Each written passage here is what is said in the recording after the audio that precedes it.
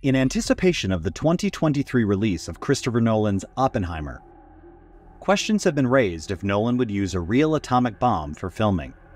The film explores the Manhattan Project, which involved the development and deployment of the world's first nuclear weapons. Created during the height of World War II in 1942, the Manhattan Project was led by physicist Robert Oppenheimer, General Leslie R. Groves, and a team of talented scientists. In this video, we will discuss the details of the Manhattan Project and the two nuclear bombs that were dropped on Japan in 1945. The Manhattan Project began as a research initiative in Manhattan, New York. The team was tasked with creating a weapon that could put an end to the war, and they did so by developing nuclear bombs. The two atomic bombs, known as Little Boy and Fat Man, were the first and only nuclear weapons to ever be used against another country, the bombs were dropped on the Japanese cities of Hiroshima and Nagasaki, which ultimately forced Japan to surrender, bringing World War II to a close. The first bomb, Little Boy, was a gun type nuclear weapon that used uranium 235 as its fissionable material. It worked by using a gun like mechanism to propel a subcritical piece of uranium 235 into another subcritical mass to initiate the nuclear chain reaction. Little Boy was 10 feet long weighed 9,700 pounds, and had an explosive yield of 15 kilotons. It was dropped on Hiroshima on August 6, 1945, and resulted in the deaths of 70,000 to 80,000 people, with many more injured or suffering from radiation related illnesses for decades and generations to come.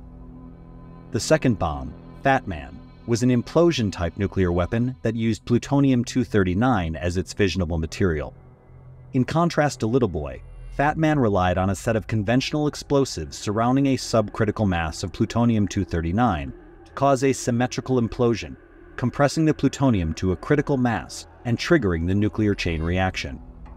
Fat Man was 10 feet 8 inches long, weighed 10,300 pounds, and had an explosive yield of 21 kilotons. It was dropped on Nagasaki on August 9, 1945, and resulted in the deaths of 40,000 to 50,000 people, with many more injured or maimed from radiation related illnesses and injuries. The bombings of Hiroshima and Nagasaki remain the only instances of nuclear weapons being used in warfare, and the destruction caused by these bombs led to a reevaluation of the power and responsibility associated with nuclear technology. The Manhattan Project, which brought about the birth of these devastating weapons, has left an indelible mark on history and serves as a reminder of the destructive power of human ingenuity when used for war.